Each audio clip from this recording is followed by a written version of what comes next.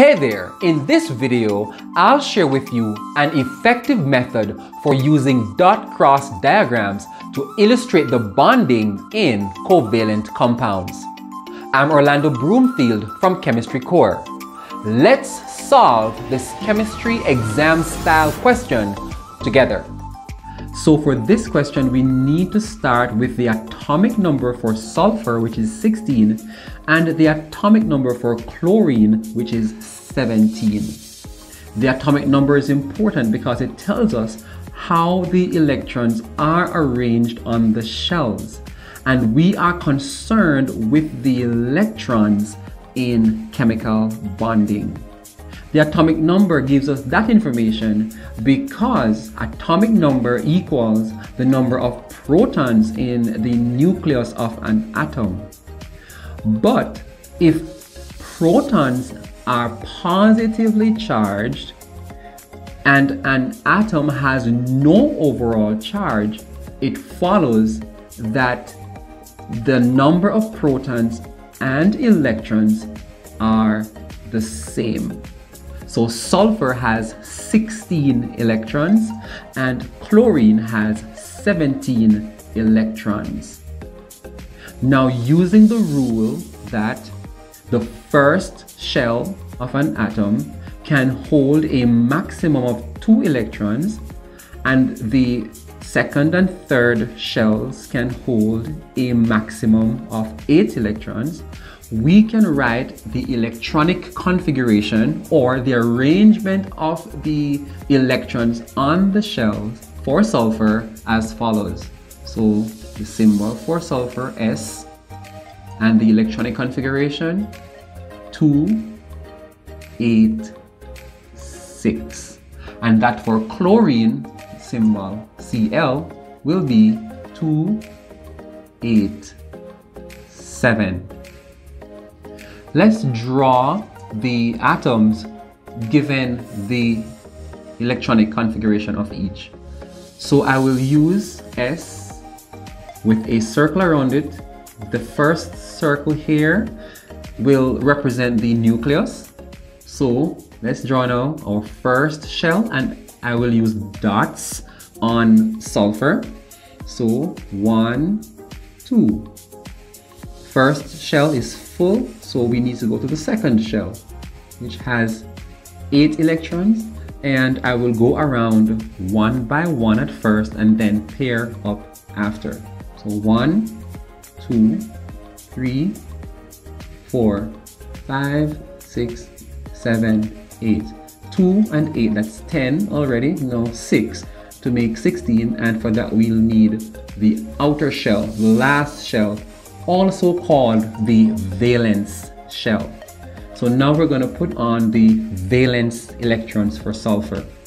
One, two, three, four, five, and I'll put the other one over here, six, only because I want my diagrams to look a particular way. Now let's draw the atom for chlorine. Again, I will use Cl, the symbol for chlorine. The first circle represents the nucleus. Second circle is the first shell. On the chlorine, the electrons will be represented by cross. So, one, two. Now we'll draw the second shell with eight electrons. One, two, three, four, five, six, seven, eight. And the valence shell with the valence electrons, seven in total. One, two, three, four, five, six, seven. The outer shell for sulfur, the valence shell, is not full. It does not have the maximum amount of electrons. The same is true for chlorine. Sulfur needs two more electrons to have a full outer shell and chlorine atom needs one electron. Because the outer shell is not full, the atom is in an unstable state. So the reason for which atoms participate in chemical bonding is to gain a stable electronic configuration or a stable state. So, being a nonmetal, sulfur, and chlorine too, a nonmetal, means that they will share electrons in order to obtain their stable electron arrangement. And we'll use dotted lines to show the shared pair of electrons for sulfur and chlorine. We are noticing that sulfur needs one more electron to bond to pair with, which means we need to draw another atom of chlorine. So I'll draw it right here. So Cl for the symbol. The first circle will be our nucleus. The second circle is the first shell, which has two electrons. One, two, that's full. The second shell with eight electrons. That's four. And that's eight. And the valence shell with the valence electrons. One, two, three, five, six, seven. And now I will put dotted lines to show what will happen between sulfur and this other atom of chlorine. They will share this pair of electrons. And finally, we are ready to draw the diagrams for the compound formed when sulfur bonds with chlorine. Let's start with sulfur, symbol S, and this time we only need to draw the valence shell. So notice up here that there are two pairs of electrons on sulfur that are not involved in bonding, while there are three pairs of electrons on each chlorine atom that are not involved in bonding. These are called lone pairs. So I will put the two lone pairs on sulfur first. One, two, one, two. Next, I will draw the valence shell for each chlorine atom, but I'll draw them overlapping the valence shell for sulfur.